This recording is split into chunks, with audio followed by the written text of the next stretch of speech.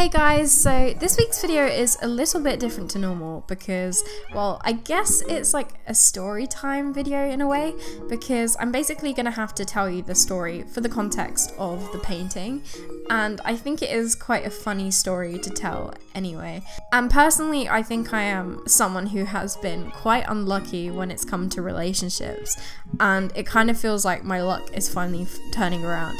So I'm basically going to tell you the story today of how I met my boyfriend and the context behind why I made this painting was because it was his birthday on Monday. He turned 20, he's a year older than me, and yeah, I thought I could do something really nice and personalized and uh, related to us as a couple. So, I will now begin the story, and it is probably one of the weirdest things that's happened in my life, but also one of the best things and I think it is quite a funny story. So, basically, this was about three months ago now. I was kind of sleeping over at my best friend's room every night at uni. I don't know why we were. We were basically having like a sleepover every night. And randomly at 4 a.m., she gets a message from a guy on our course who she was friends with, but I wasn't friends with, so I didn't know him at the time and he sends her loads of pictures of pelican of pelicans at 4 a.m.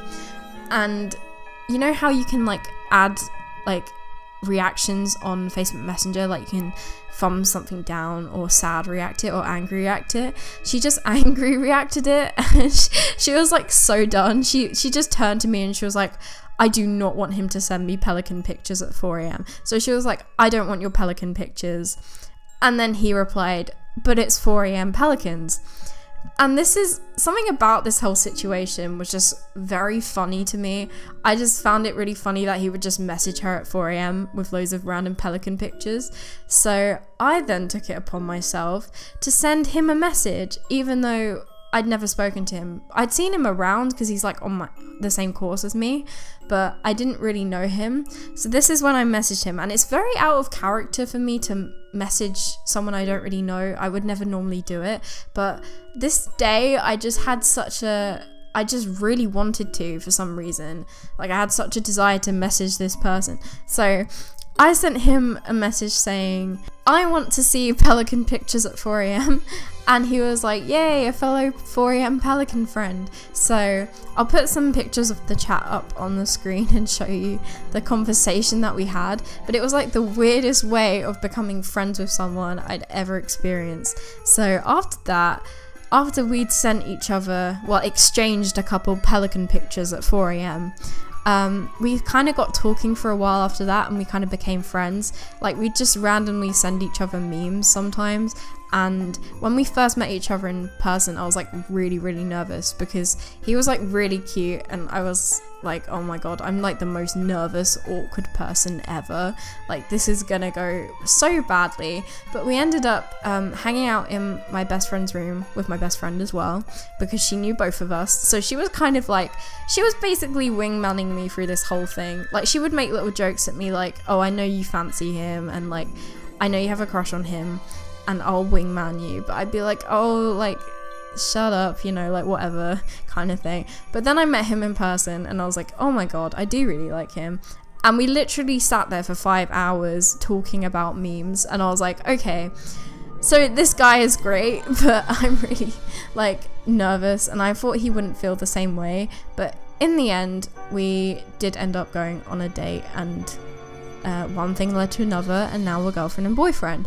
But it's just a really funny story that we just started talking because of Pelican Pictures. And it's crazy to think that if he hadn't have messaged my best friend on that specific night at that specific time when we were still awake, like I could have easily have not been there and seen that message he sent her and I probably never would have met him, which is really crazy now because I couldn't imagine my life without him in it. But yeah, so I kind of wanted to draw something that was related to that. So I thought it would be really cute if there was a pelican and it had its mouth open and we were standing inside of it. I also wanted to show you guys something else, while I've been in Portugal, I actually went to the zoo the other day, which was super fun. I love going to the zoo, although there weren't any um, giraffes, and I was really sad about that because giraffes are my favourite animal.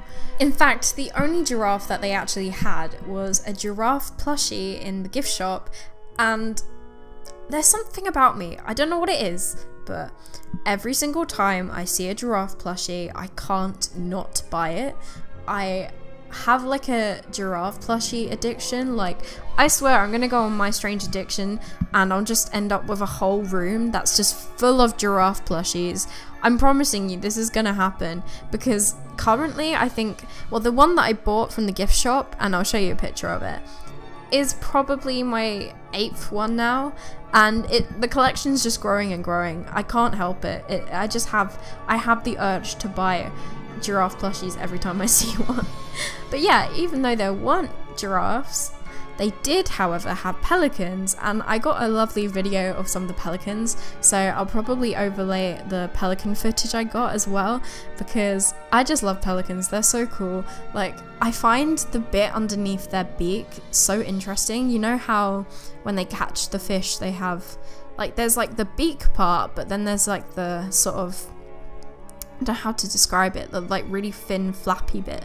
That's kind of like I don't know, like how thin is it? Is it like paper? I always look at it and it looks so like fragile and I'm like how do they not like tear their the bottom of their beak on like the rocks? I feel like I must be sounding so stupid right now. Like there's probably an explanation for it. But I like I feel like I think about pelican beaks way too often.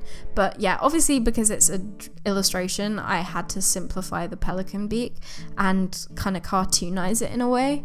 And I did kind of struggle to think like how will I stylistically do this, but I was very happy with how it came out in the end. I'll probably, because I didn't include the sketching process in the video, I might also overlay my sketch I did in my sketchbook just so you can see what the beginning, um, the starting sketch kind of looked like. But yeah, that's basically the whole story behind how I met my boyfriend, why the hell we are standing inside the mouth of a pelican, and yeah.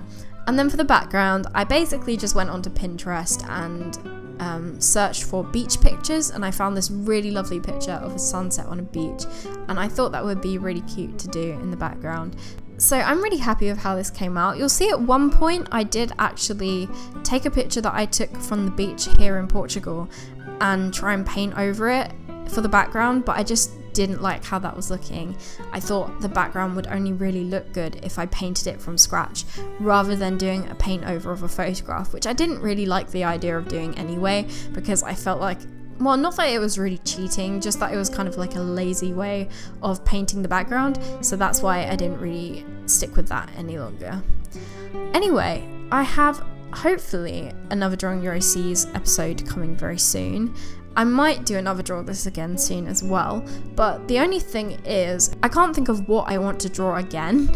Um, so if there's any old videos of mine that you've seen that you want me to do a redraw of, please let me know in the comments below and I will go and probably choose one probably quite soon. And if you have any other suggestions for video ideas that you want to see, then let me know.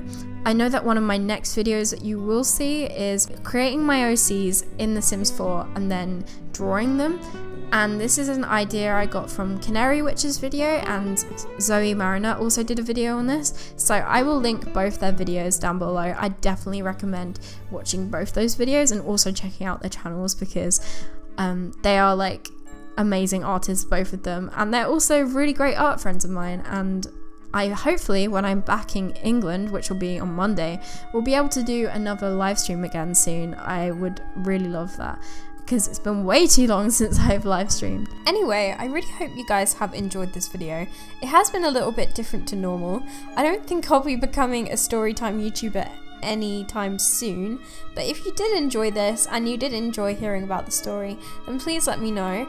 It was really fun for me to talk about it, and yeah, like I said, it was one of the weirdest things to happen to me, but I'm really happy that I did end up meeting my boyfriend because he is an amazing person and he makes me very happy. And yeah, so I wanted to give something back to him to make up for everything that he does for me. So I really hope you guys enjoyed this and I will see you again very soon. Bye guys!